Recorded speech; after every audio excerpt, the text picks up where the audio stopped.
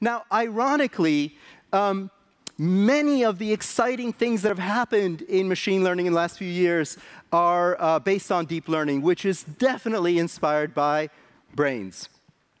It's, in fact, a rebranding of an old idea called neural networks uh, from the 1970s, um, which is what got me excited about getting into the field in the mid 1980s.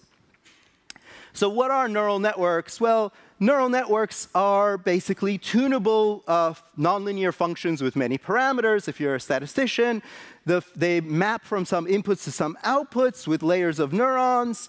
Um, it's called deep learning because you have many different layers. So there's there's nothing deep about that. It's just many layers. Um, the weights uh, connecting the neurons are tunable, and they're tuned to reduce errors on training data. Now, they're amazing, and much of the revolution has happened because of deep learning. But again, anybody who's in the field understands that there are limitations of deep learning. They're very data hungry, compute intensive, poor at representing uncertainty, which really bothers me, actually. Um, they're uninterpretable black boxes, lacking in transparency, difficult to trust, and easily fooled by adversarial examples, like this one, famously, where the neural net is pretty good at telling a school bus from a dog, but then you add a little bit of pixel noise in a very particular way, and it confidently gets it wrong. It classifies both those images as ostrich. That's a problem. We can't base our technology on just that. So um, we really need machine learning systems that know when they don't know. And one way of achieving that, and this is an area that I've worked on a long time, is probabilistic machine learning. It helps us better understand the concept of learning and overcome some of the limitations. So probabilistic machine learning goes back to the mathematics of Reverend Thomas Bayes, an 18th century English uh, nonconformist minister. And he came up with Bayes' rule, which is written like this. It's kind of boring to look at like this, but I'm going to rewrite it like this so that you can kind of um, think about it more easily.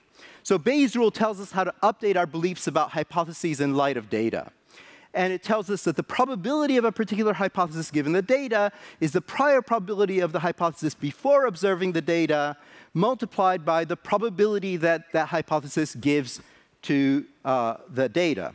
And then it's renormalized, summing over all the hypotheses we're willing to consider. Now, um, Bayes' rule is also the basis of understanding learning. So the process of going from your prior knowledge before observing the data to your posterior knowledge after observing data is exactly learning. And what you gain from that is information. Um, now, just to be clear, when I use the terms hypotheses and data, it's incredibly general. Hypothesis is anything that you're uncertain about, anything you don't know. Data is anything that's measured, any measured quantity or any sense quantity. And then um, when I'm talking about probabilities, probabilities are meant to encode beliefs of the system. So it's so powerful that you know, you can write down the foundations of all probabilistic machine learning on one slide, which looks like this, and it starts from two simple rules, including Bayes' rule. So how does it work? Well, if you um, take the optimization view of machine learning, you have, uh, you know, say the red and the blue data set, and you want to classify them.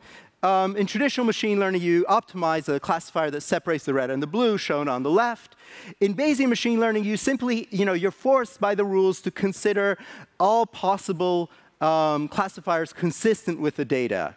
So uh, that whole cloud of possible classifiers. And when you average over that, which what is what probabilistic machine learning tells you what to do, you get better uncertainty estimates. So there's no magic. You're just accounting for your uncertainty, you get better uncertainty estimates.